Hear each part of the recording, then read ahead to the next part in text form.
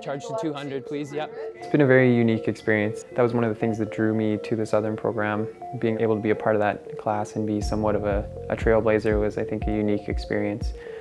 And you know, being at the tail end of that and looking back, I think we've had the opportunity to sort of shape the program to some degree for the next groups that are coming up, and I think that'll be an evolving process going through.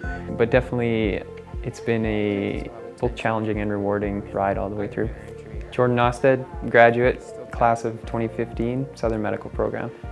There's a lot of emotion through med school. You come into the first couple of years really excited to be just in and figuring out what that actually means. And then you kind of go through a phase where you get really sick of sitting in the classroom. And then finally third year comes and you get your first taste of being in the hospital. Being in Kamloops was, I thought, a fantastic experience. Walking into the hospital right away, you felt like part of the team right from the get-go and being able to interact sort of on a one-on-one -on -one level with the staff there and very experienced clinicians provided just an incredible learning opportunity and they really made you feel a part of the community and it just created a really comfortable and productive learning experience.